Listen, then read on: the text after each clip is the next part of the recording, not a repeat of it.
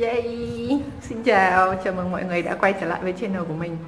Um, Video ngày hôm nay sẽ là một video swatch và review son Như các bạn thấy thì hiện nay mình đã trang điểm xong hết rồi. Chỉ còn thiếu mỗi mình son thôi. Và ngày hôm nay mình sẽ giới thiệu với các bạn một uh, hãng son khá là mới mẻ với người Việt Nam mình Đó chính là Silky Girl. Thì cái nhãn hàng này là một nhãn hàng đến từ uh, Singapore và được thành lập từ năm 2005 uhm, ừ, mặc dù khá là mới với người Việt Nam mình nhưng mà thực ra mình thấy siêu Kiger cũng đã được bán ở Việt Nam đã lâu rồi và bán rộng rãi trong các trung tâm thương mại cũng như các siêu thị là những nơi mà các bạn cũng rất là hay đi và khá là dễ để cho các bạn đi mua đúng không? À, thì ngoài ở Việt Nam thì siêu Kiger còn bán rộng rãi trong khu vực châu Á và còn có cửa hàng ở một số nước có đông người châu Á sinh sống ví dụ như là Đức hay là Mỹ. Thì mình nghe nói là hãng này hiện nay có hơn 5.000 cửa hàng tại có có hơn 5.000 cửa hàng và các điểm bán khác nhau rồi. Nghe cũng khá là thành tựu to lớn đúng không? Và ngạc nhiên hơn nữa đó lại là một sản phẩm một dòng sản phẩm đến từ khu vực Đông Nam Á.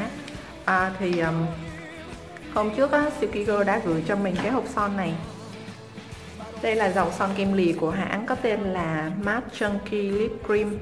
Và dòng son này gồm có 11 màu. Thì um, 11 màu này đều đã được hãng phân rõ ra thành 4 màu tông cam, 3 màu tông đỏ và 4 màu tông hồng. Mình thấy màu sắc khá là trendy có nhiều màu trông rất là tây nữa. Ngày hôm nay mình sẽ swatch xem thử chất lượng của dòng son này như thế nào.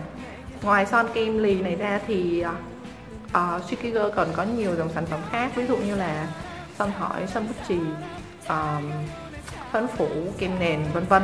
Các bạn có thể ra siêu thị để tìm hiểu và mua thử nha. Còn uh, nói qua một chút cái dòng son kim này được đựng ở trong một cái ống nhựa tròn với phần nắp đen và phần thân trong suốt để các bạn có thể nhìn thấy rõ màu sắc bên trong. Um, mình nhớ là cái dòng son này cái dung tích của nó là 5,8ml khá là nhỏ gọn và các bạn có thể dễ dàng mang đi vài cây để thay đổi màu sắc. Khi mà đi chơi đi học ừ, nếu như các bạn thích à, thì giá thành của nó cũng rất là sinh viên thôi. Mình nhớ là hình như chỉ khoảng 100 năm mấy hay 160 mấy ngàn. À, còn về chất lượng thì ngày hôm nay chúng ta sẽ thử xem thế nào nha. Bây giờ mình sẽ bắt đầu swatch son luôn nha. Màu 01 Retro là một tông cam đất. Tuy nhiên thì sắc cam trong màu này lại nhiều hơn sắc nâu Chính vì thế nên khi lên môi thì trông màu này khá tươi so với các màu son đất khác, cam đất khác mà mình đã từng sử dụng. Đây là một màu dễ dùng mà các bạn có thể sử dụng được cho nhiều tông da khác nhau.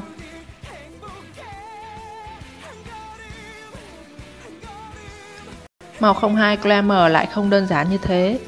Đây là một màu mà mình chưa từng dùng và quả thật thì nó chẳng dành cho mình đâu. Đây là tông màu hồng baby và thực sự là không hợp với những bạn có warm undertone như mình, lại còn da ngăm nữa. Màu này sẽ chỉ hợp với những bạn có cool undertone và làn da trắng sáng thôi. Bạn nào trắng dùng màu này thì rất là xinh, nhưng mà mình dùng thì cứ thấy sai sai ấy. Màu 04 Vintage là màu hồng đất Tuy vậy thì lên môi mình mình thấy cũng nhiều sắc hồng hơn, thậm chí còn hơi ngả cam. Chứ sắc nâu thì lại không thấy rõ lắm.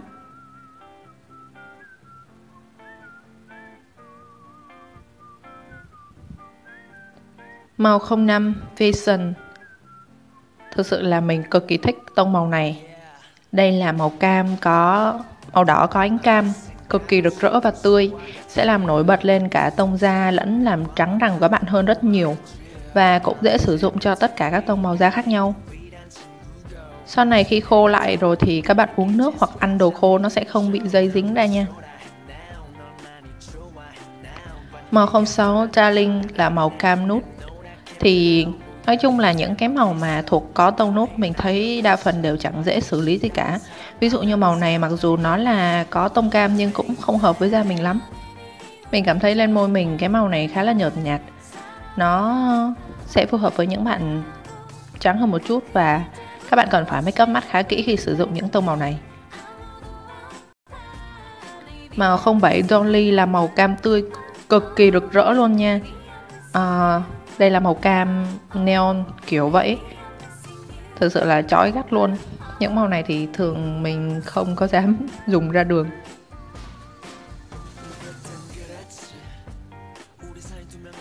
08 Assi là tông đỏ, có pha tím và hồng.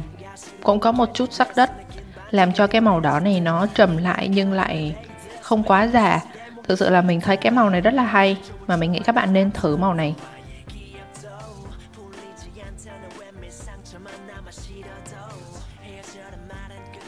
Không chín là màu đỏ trầm, một màu son. Mình nghĩ tất cả các bạn gái đều nên có. Vừa làm trắng răng, vừa tôn da, lại rất sang trọng, đặc biệt là đi kèm với hiệu ứng son lì như thế này, thì trông các bạn lại càng quyền lực hơn.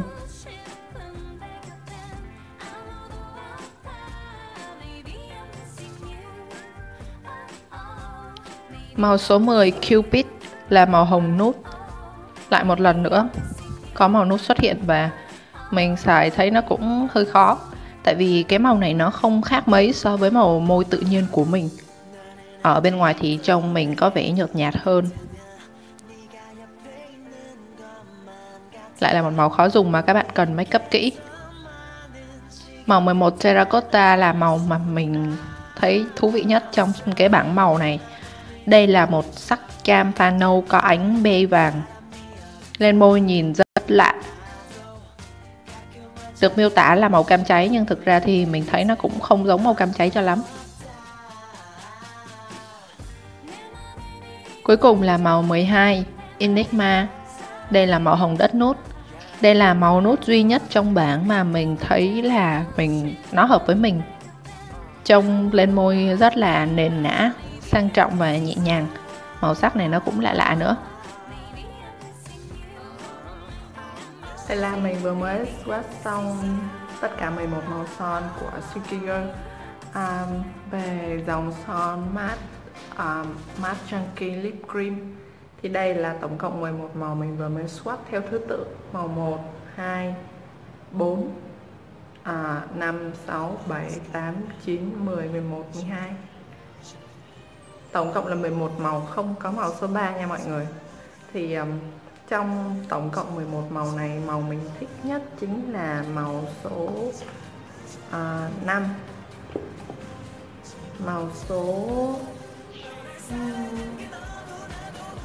đây màu đỏ có ánh cam này màu cam cháy. Và màu cuối cùng là màu mình đang diện trên môi đây thì mình thấy ba màu này là ba màu mà mình ưng ý nhất.